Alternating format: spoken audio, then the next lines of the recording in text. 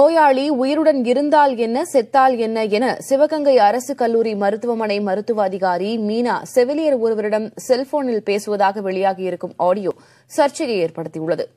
சிவகங்கை அரசு மருத்துவமனையில் உள்நோயாளியாக அனுமதிக்கப்பட்ட கார்த்திக் என்பவருக்கு நெஞ்சுவலி ஏற்பட்டதை அடுத்து மேல் சிகிச்சைக்காக தனியார் மருத்துவமனையில் காட்டும்படி செவிலியர் அறிவுறுத்தியுள்ளார். இதுகுறித்து மருத்துவமனை மருத்துவ அதிகாரியிடம் கார்த்திக்கின் உறவினர்கள் புகார் தெரிவித்தனர்.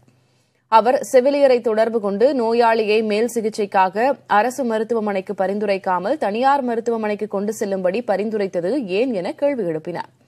அப்போது அவர் நோயாளி இருந்தால் என்ன செத்தால் நமக்கு என்ன என்று பேசினார்.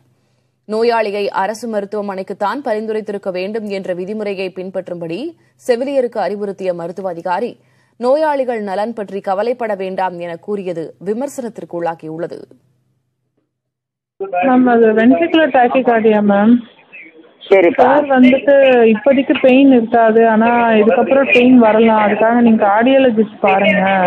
இதுக்கு வந்து சரி எழுதி கொடுங்க. நீங்க ஏன் பிரைவேட்டுக்கு அனுப்புறீங்க? இல்ல சார். பிரைவேட்டுங்கிற வார்த்தை நமக்கு வரக்கூடாது இல்லம்மா வாயில.